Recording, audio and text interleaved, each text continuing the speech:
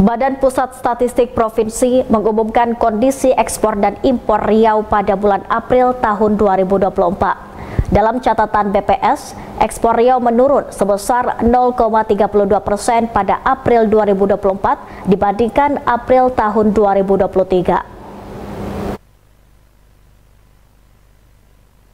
Hal ini dijelaskan langsung Kepala BPS Riau Asep Riyadi di hadapan Gubernur Riau S. Ferianto.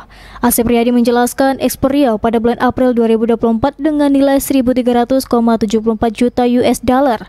Ini mengalami penurunan 0,32 persen bila dibandingkan ekspor Riau pada April 2023 dengan nilai 1.304,92 juta US dollar years on years. Ekspor migas juga menurun, di mana pada April 2023 lalu senilai 1.189,68 juta US dollar. Sementara pada April tahun 2024 ini menjadi 1.139,74 juta US dollar. Untuk ekspor non migas senilai 1.219,08 juta US dollar menjadi 1.139,74 juta US dollar. Untuk ekspor non migas secara persentase penurunan 6,01 persen mon to mon. Nilai ekspor Rio pada bulan April 2024 sebesar 1.300,74 juta US dollar.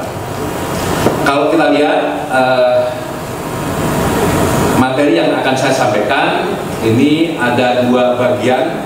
Untuk ekspor sebesar 1.300,74 juta US dollar di kondisi April 2024 mengalami penurunan 0,32 persen.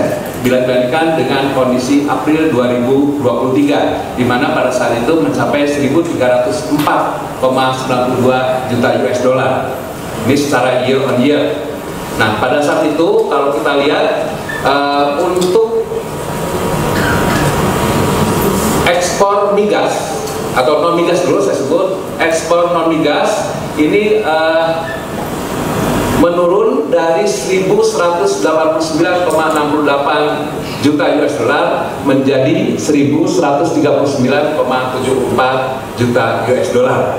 Kemudian kalau untuk uh, non migas untuk migasnya ini meningkat 115,24 juta US dollar menjadi 161,01 juta US dollar. Ini kalau year on year.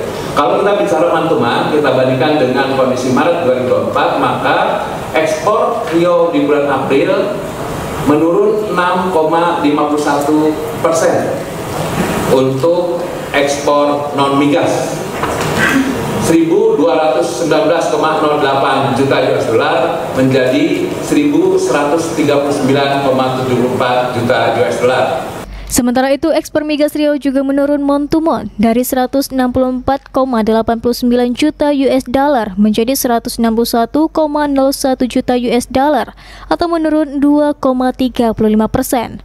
Herman Syah melaporkan.